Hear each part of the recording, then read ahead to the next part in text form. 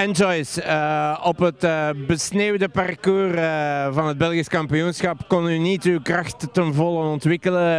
een slipper besliste daar eigenlijk over winst of verlies. Vandaag ligt het er heel anders bij. hoe schat u uw kansen in? Toch een pak hoger. Ehm, een paar keer rond geweest, het is vrij snel. Maar het ligt me wel. Ehm, het is echt, dat is het parcours dat ik eigenlijk in januari had gewild, maar niet had gekregen. Ehm, ja, wat dat gaat worden, dat weet ik niet. Want er zijn hier natuurlijk uh, een, een, pak andere rensters aan de start. Uh, maar ik zie het wel heel hard zetten.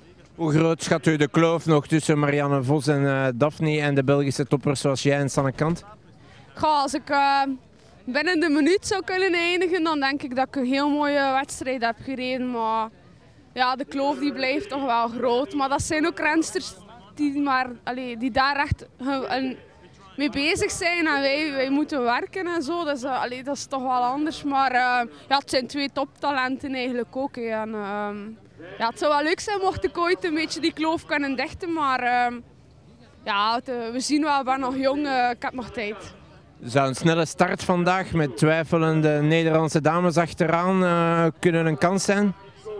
Um, dat zou wel kunnen, maar ik denk dat die twee Nederlandse dames niet gaan twijfelen en gewoon mee gaan zijn. Ik zou moeten gaan. Oké, okay, ik laat u gaan.